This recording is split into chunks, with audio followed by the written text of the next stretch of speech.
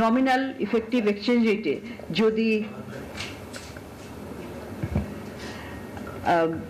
যে হারটা দেখানো হয়, কিন্তু আসলে রিয়েল ইফেক্টিভ এক্সচেঞ্জ রেটে আমরা দেখতে পাই যে কারেন্সিটার প্রকৃত মূল্য কত। তখন আমরা দেখেছিলাম যে অন্যান্য আমাদের তুলনীয় অনেক দেশের সাথে, ভারত কিংবা ভিয়েতনাম বা দক্ষিণ এশিয়ার অনেকগুলো দেশের সাথে তুলনা করলে আমাদের কারেন্সিটা বাংলাদেশি টাকাটা শক্তিশালী অবস্থায় ছিল, যেটা কিনা একটু ডেপ্রিসিয়েশনের দরকার ছিল।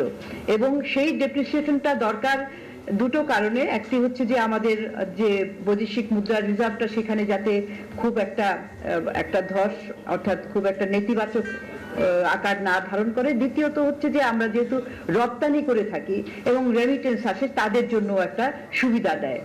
কিন্তু সেটা হঠাৎ করে ডেপ্রিসিয়েট করার চাইতে সেটা যদি ক্রমান্বয়ে করা হতো, তাহলে কিন্তু এটা ভালো হতো।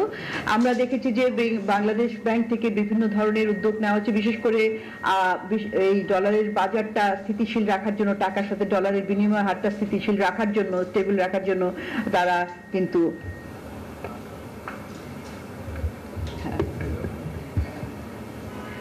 ডলার বাজারে বিক্রিও করে